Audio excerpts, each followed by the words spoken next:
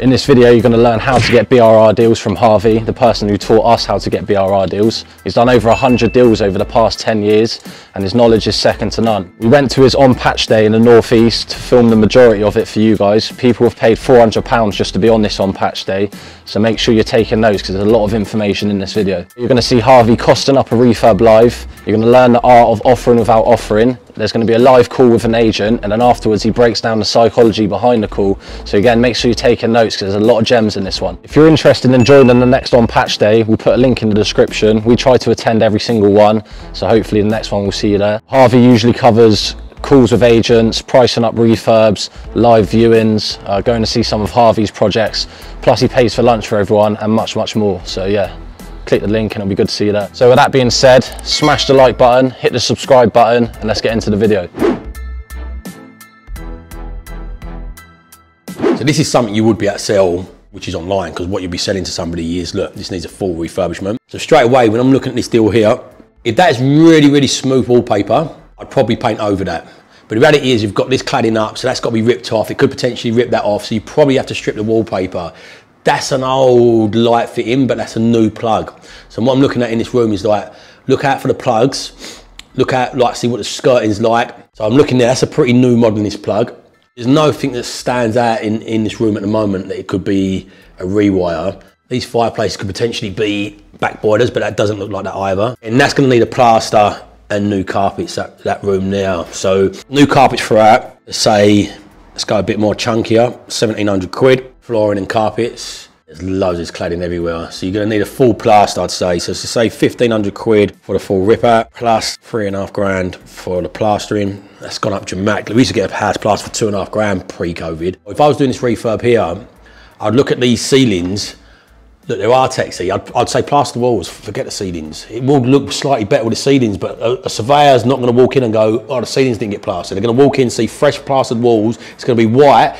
The design of a property outweighs the end, like finish spec. This is probably going to run in already. I can see it to be a higher refurb than you probably want to take on for a first one, because all this sort of glass stuff along here as well that's difficult. You want to box that in and make that, just, I don't know, it just looks 1970s to me. So let's say you're going to look at about three and a half grand, maybe even four grand by the time you've done some boxing in for like the plastering and stuff like that and some stud stuff. Good thing again, what I'm looking at here is radiators. So what I look at when I'm looking at these to analyse these online is here, look, that there, you can see it's a new radiator. Look at the pipes. That's usually a really, really good indicator as well. Like the, the mill of the pipes. You get thin piping, can be okay, but often it needs to be changed, especially when you change a new boiler. If it's got plastic pipe, even though it's not as good as copper pipe, you know it's new because it's a new, newer thing plastic piping. So again, you'll think, okay, that's been probably repiped in there quite a bit. So heating for me looks like it's going to be okay. What you need to try and do is find the door number of that property. Once you've got the door number, you can go onto the EPC and find out where the boiler's at. But let's just assume at the moment the boiler looks all right because it looks like it's new radiators. This sort of wallpaper I wouldn't paint over. Do you know that like bubbly sort of stuff? Sometimes I would. It depends on budgets. You could do a full replaster which is going to cost you three and a half grand, and you could do a kitchen that costs you three and a half grand. I guarantee you'll get a stronger valuation with the kitchen being done than you would the plastering. You could do damp work, which is unsafe, or rewires are the worst because they cost a couple of grand to do, but because they're hidden, it doesn't influence their mind, the, the, surveyor's minds, or the person renting it. If you walk in, it's got a really nice looking kitchen and a really nice looking bathroom. Forget the little nuances on the finish. We'll show you some of the finishes we do. And a lot of people go, wow, like, you sure? Like, yeah, I'm fucking really sure. We've rented hundreds of properties for years. You need to be safe, you don't need to be super high end on finishes. Doors look decent. That's a big one. These internal doors, I'd keep these and just put new handles on these. Downstairs needed doors, upstairs could be kept. So doors and like carpentry and woodwork, little bits and bobs in there, probably another 500 quid say, probably slightly less. You'd rather be a bit more over than under. That's a warning sign now, so that is a massive one. That plug there, that is out of regs. So that's hundreds. That is nearly, unless that's an old, sometimes they leave them on the wall and they don't work anymore. They just didn't take them off because they didn't want a hole in the wall. But if that's a working plug, that 100% needs a rewire. See these plugs are high off the wall, they have to be so high off the floor because when you plug a plug in, the wire bends down. If the wire keeps on bending down, it's going to eventually compromise the wire and then cause a fire. So that probably needs a rewire. You're probably looking at around two and a half, three grand now for three grand. Again, we used to get these for two grand before. See this sort of stuff. These these are harder because that just looks so dated. But what do you do with that? Smash it out. yeah, do you smash it out, but in the gap there, like again when you're plastering, but then this really adds to the plastering costs. So realistically, you probably would just break that out, but then if you break that out, you're going to add probably. Yeah, or exactly that. Se- second option is we've painted over a few of these, and sometimes they come out really looking good, and other times they come out just looking like fucking painted a turd. You know, like I think if you painted that uh, with really nice handles on that, you might get away with it. Let's say we took that out anyway. The extra cost of taking that out and getting it replastered is probably going to add another 500 quid, probably less, but as I said, you want to over egg these a little bit more than anything. Oh, shower. I've got an ensuite in this room. I think that's random, isn't it? I'll just put a wall around that and make that an ensuite. Like they've kind of done the work for for you there a little bit. Again, that needs a new shower and stuff like that in there. Wow, that is random, isn't it? I imagine the bathrooms behind that. Especially when you're going direct to vendor, the more photos you've got, the more understanding. Like ask the vendor to give you, like just draw out the like the, the layout of it and the floor plans and things like that. Don't have to be really accurate, but the more understanding where you can get where things is, the more you can then cost stuff. Wow, that definitely needs changes, doesn't it? The toilets are right. So this green kind of went out of fashion a little while ago. So you definitely would get that ripped out. Yeah, carpet in the in the bathroom. Yeah. so look, new bathroom, probably around two and a half k probably get it done for 2k but just be a little bit heavier especially if you've not got connections as well like when i'm showing you the, the prices i show you on my list are the prices i aim to get things done for i don't always get them done for that price it's a price i know should be pretty fair based on a fair labor rate but it is a challenge to always get them done. So i would use them prices and go slightly above those. And then if you come in lower you've had a bonus. And if you don't you've also had a bonus because then you've not got a budget. But small garden, you've got to think of this as well. This does have an impact on valuations gardens. So that other one we see for 150, that's got a really nice garden. I didn't used to think it did, but it does. Like there was a property on the estate I really liked a little while ago. And I was going, why is this not sold? Like everything's flying off for like 110s, 115s. It was on for 95 and it was nearly just there. But because it, I spoke to the agent, he said, because it's just nearly there, but it's rough around the edges, like it's kind of okay, but nearly there. And in the garden, they were struggling to sell it. It took them a while to sell. It wasn't quite cheap enough for us to buy. it. But uh, so yeah, that potentially could have an impact. Again, the windows look pretty decent. Oh, the garden looks better from that angle, saying that. It's a better sized garden. So I would get rid of that, get rid of this. So again, probably looking at another couple hundred quid, maybe another 300 quid added on just to maybe 400 quid to sort the garden out. I look along here, so I look along the, the, roof line. So I'm looking along here to see, these pictures not great for this, but again, this is why you'd ask the question, especially direct to vendor. What's the, like, can you describe it to me? Is there a sag in the roof? Does the tiles look aging? Is there moss on the chart tiles? Things like this. So this guttering, all this looks newish. That down pipe looks like that could be an asbestos down pipe. Not definitely. No, it is plastic. You can see there. But when you get them old ones that are not plastic, they're often asbestos. They can be left, but they're more expensive if you don't leave them and take them out. So what I do with them old asbestos ones is I just paint them because they can be painted. Again, this goes back to the for sake of it. For the sake of it, you might as well do this. No, for the sake of it, I might as well not. It's 400 quid to do some guttering and a down pipe. Paint it. It could cost me 100 quid to paint or 400 quid to change it. I've never had a tenant or a surveyor come out and go, oh, there's brand new guttering on there. I'm going to rent that property for £100 more as long as you take your eye off it, so when you paint it, if it looks old and flaky paint, if you paint it, it takes the eye off it. The soffit and fascias look decent on this. The down pipe looks okay. Windows again from the back look good. So it's good you've got a back angle from that because that's often what you won't get on Rightmove. But again, if you're going direct to vendor, how you negotiate with a direct to vendor without viewing it is you say to them, give me as many photos as you can, ideally videos as well, and I need you to go through this checklist of things. The more things you can check off, the more accurate I can be with my, with my offer. We're not going to come and view this until we can understand whether or not we can get a price that fits. So as soon as we can understand we can get a price that fits, we'll get someone to view it. But that offer obviously is going to be subject to you giving me as much information as you can. It's, it's a reasonable request. So yeah, the front of the property looks okay. That's a weird door on the side, but that all looks all right. Probably needs a little bit of tidy up around there. You, you always want to think about that first walk into a property and having that tidy because that again does have a, does have an influence on there. Add another 50 quid with the front and everything. Let's go back to the kitchen. Definitely need a new kitchen. I want to see the floor plans on this. Yeah, so Again, if there's margin in this, it's where you have to make the decision. If that bits with that cladding that I said probably needs boxing in, I'll just take that out and add that as a big op open plan kitchen diner. It'd be so much better and I'd have probably units all the way along this wall to here and across here. So it'd be just a really nice L-shaped kitchen. It's a nice kitchen diner space. So yeah, that looks like, that divider there looks like this dividing wall here because that looks like the kitchen behind it. So that's brilliant. That's actually better because I'll just rip that wall out and make it a big open plan kitchen diner. People like bigger kitchens today, especially kitchen diners. That kitchen is far too small for a three bed. Probably looking with getting that kitchen aligned and sorted about four grand, I'd say. So that puts me at about an 18 grand budget straight away. Put a contingency on top of that as well. Even when I looked at that, it's a 20 grand plus refurb straight away. That's if it doesn't need a new boiler. I think it needs a rewire. I would probably avoid that level straight away unless you've got a bit more experience. When you look on the EPC, what we're looking for here is down here, it'll, it'll tell us what needs doing. So cavity walls, average. You know the insulation okay-ish.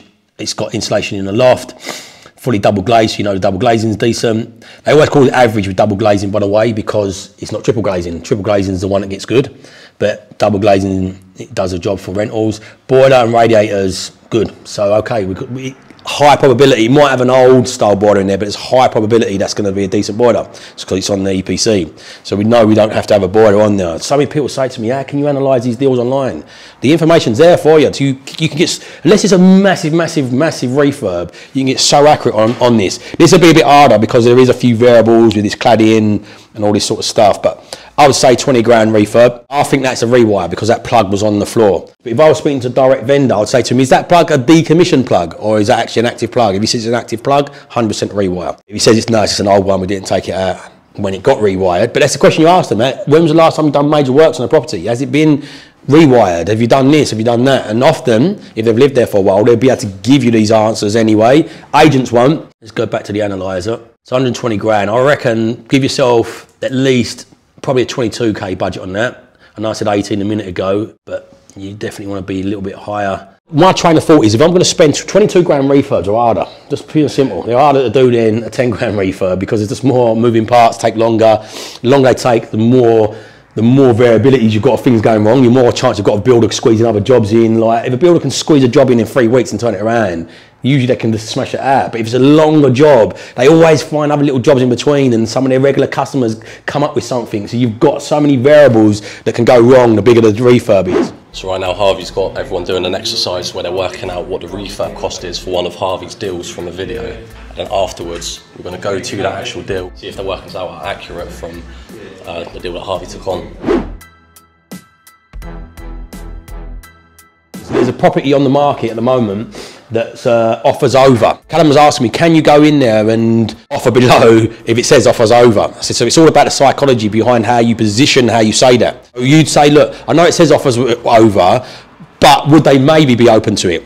Say, look, I've done the numbers, crunched them, and we're probably going to be more around here. So I don't want to offer them at the moment because it says offers over. And then you get a gauge from them to see where they're at. Well, you might be able to give them a cheeky offer. Okay, what if I offered this much? you're not offending them. So you're not offering. You're just saying, look, I've done numbers. See, they said it's offers over, but I, am only coming to around here. Have you got any more data for me that suggests what could be more? Have you got Rightmove Plus that maybe is a recent sell that the comparable's higher than the one I'm looking at? Does it need less work? Am I looking at this thinking it needs less work?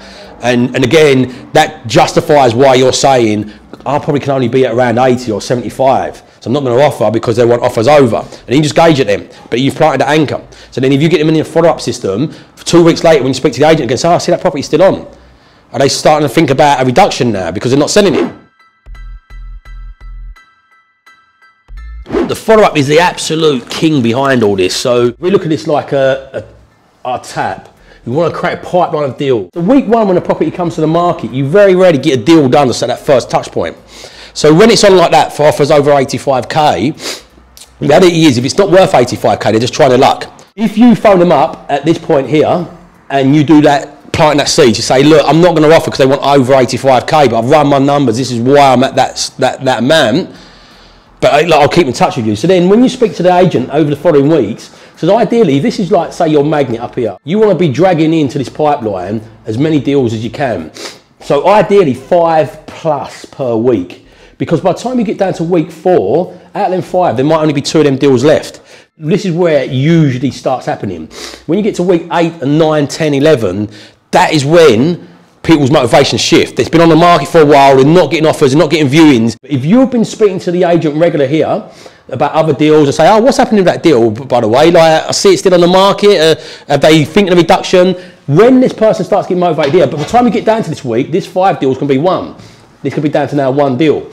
So you've got to keep that pipeline coming week by week. So week one, five deals in there. Week week two, there's five more on top of it, and then week three, another five more on top of it. So as these filter down, you, as you get down to here, there's still a few left at the bottom. This is why I say people, you've got to dig your well before you're thirsty. Even if you think you don't need a deal now, you want to start the work now because by the time you probably do need the deal, you've got to start from scratch and you're going to have this pipeline to have to build. That's when people start getting motivation. So if you've done planted your seed at this point here, like you said, look, I'd only probably give about 70k for this. You get down here and their motivation, they know you want to buy it because you've kept in touch with them. When they start reducing, that's it. You've planted your anchor seed. When they're motivated now, you've got a higher probability, not a definite probability of getting that done. If you keep on feeding that in, like when I was more prolifically sourcing and it was my more front end thing I was doing, that's always doing is feeding that pipeline all the time. The agents then will get to know you and then know where, they know where you're at with your price if they phone you back up and say, do you want to offer on that? You go, yes, 70k. Like, they give you permission to offer a lowball offer. If you lowball offer on everything, they just get pissed off with you. It's not worth lowball offering. It really isn't. We got a deal done. They wanted 67 for it. It's directly to the landlord. I was trying to buy this from the, the landlord for a year and a half, maybe even two years, and they, they wanted 67 for it.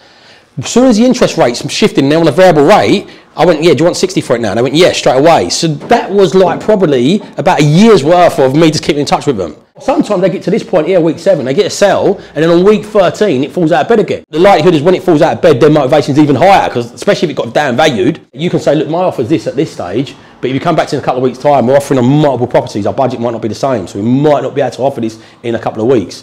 So that's adding scarcity, but that's when you're at the offer stage. At this front end part, when it's on for offers over 85 and you might only want to give 70 for it, then you just plant the seed of what you would give for it. I'm going to phone an agent on that one and I'm going to use that psychology I just told you now of trying to plant that seed with them. This is the key behind it. Keep properties coming into there because it's usually down here and beyond where the deals get done. Just phone up a live call for an agent. And the idea behind this is to get the psychology. This property, this property's on for offers over, but we don't want to pay over that price. So what I'm going to do is plant that expectation seed, plant that seed in their head of what I do want to pay. So then you can then put that into a follow up if I was to buy this property. Properties. Hi, uh, yeah, I'm just phoning up about a property you've got advertised on Rightmove. It's called a Vancouver Street. Is that still available? Yeah. It is, yeah. Okay, brilliant. Is it okay if I ask a few questions?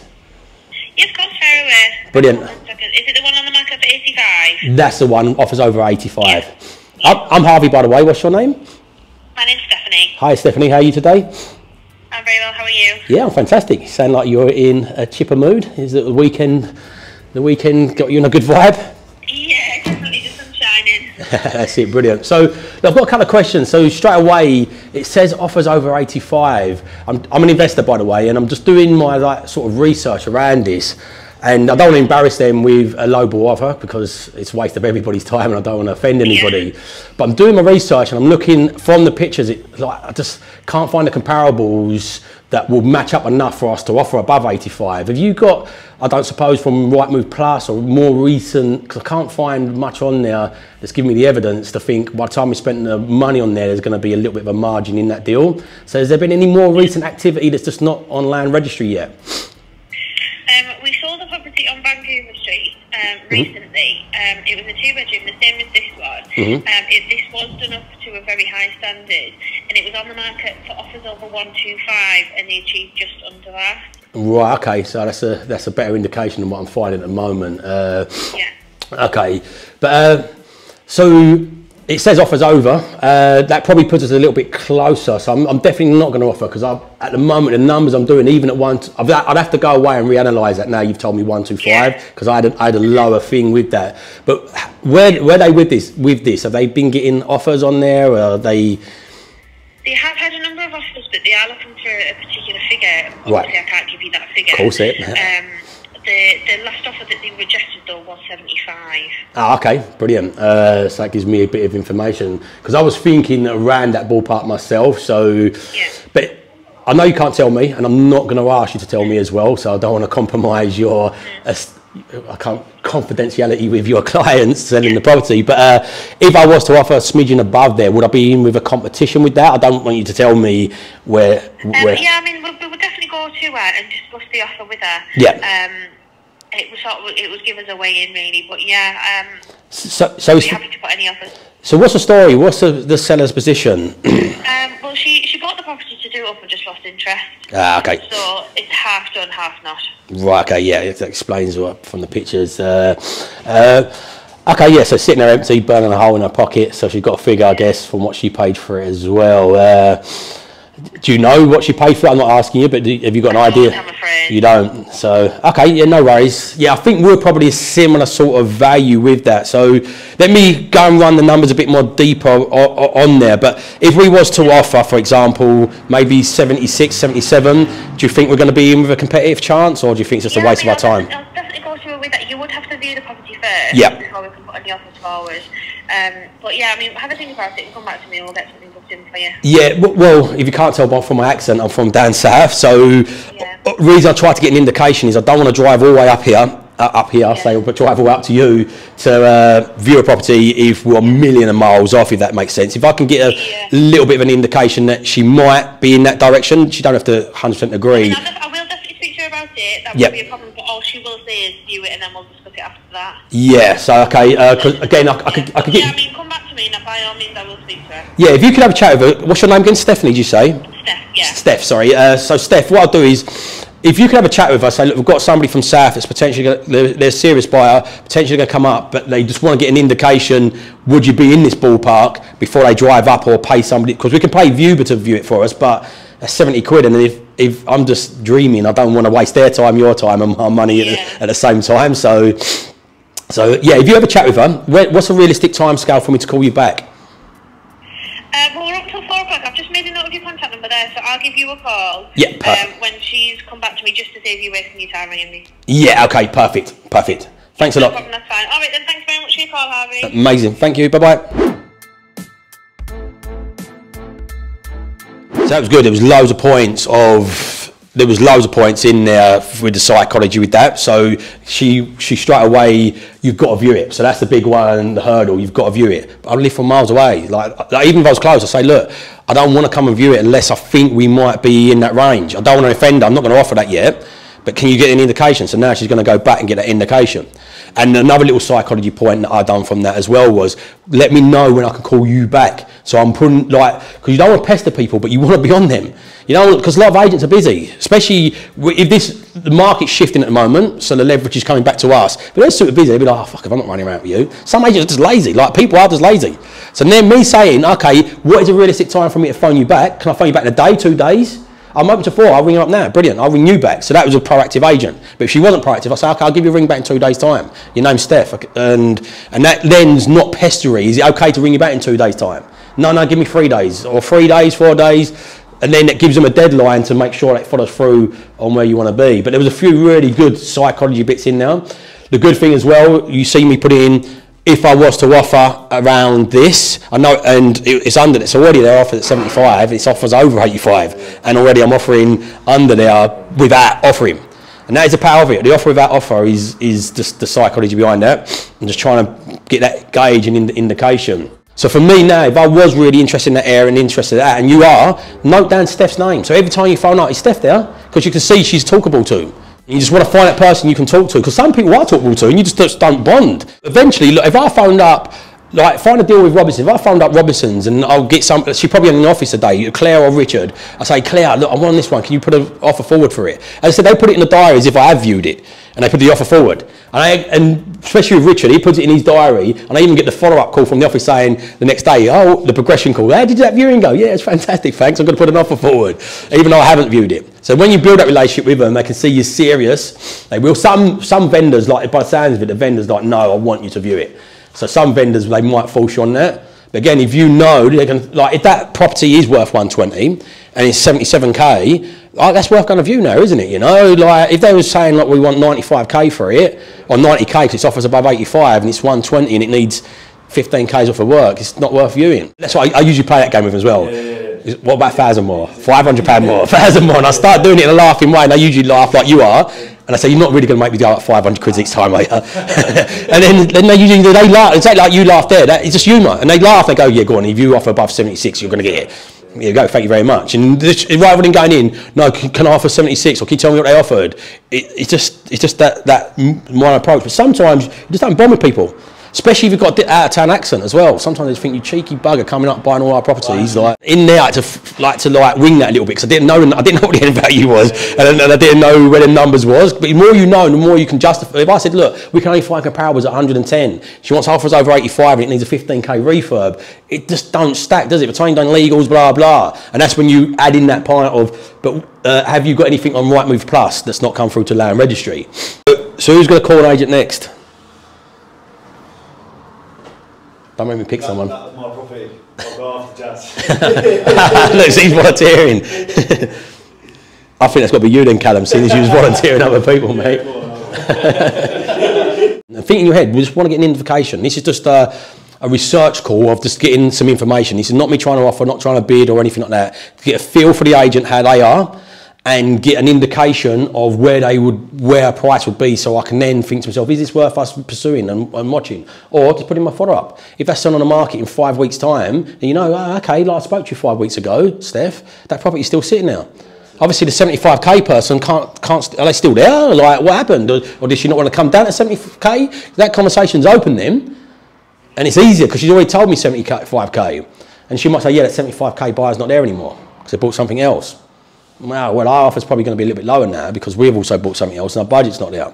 Where do you think? Do you think they might now look at 73 because it's been on the market for ages? And again, I'm still not offering at this stage. It's the most powerful thing I learned in, like, when, when we was buying, like, more all the time, it was just a script that got us everything all the time as well. It's all about reps. The more and more you do this, the more comfortable you get with it. If you want to be deal sourcing, phone up fucking 10 agents a week. Even if it's off patch, like just get used to speaking to them. And the more you get, reason I, I was nervous because I'm in front of everybody, there's a camera on me as well. So it's like, oh, fucking no, like, say you get that wrong.